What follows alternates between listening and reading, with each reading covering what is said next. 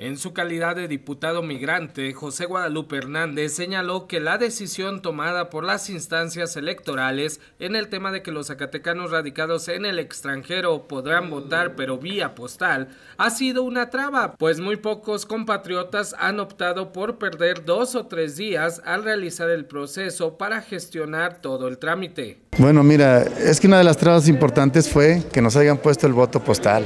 Yo fui uno de los iniciadores del, del de, poder votar por presidente de la República desde el gobierno de Vicente Fox a nivel nacional, lo sacamos, pero solamente fue vía postal. ¿Cuánto fue a nivel internacional? Fue una votación muy mínima. Tan solo en Estados Unidos tenemos 34 millones de mexicanos.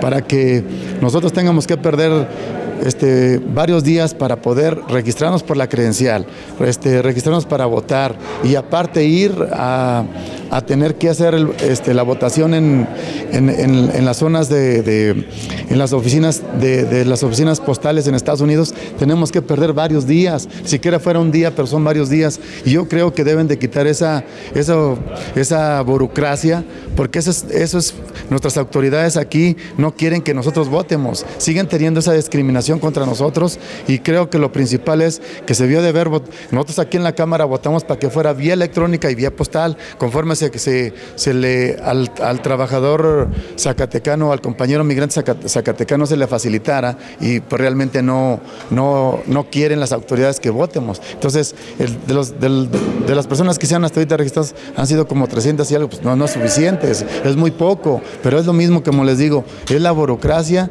y es las, pocas ganas que quieren que nosotros votemos y, nos siguen teniendo pues ahí imaginados. Con imágenes de Hugo Leandro para B15 Noticias, Alfredo Jiménez.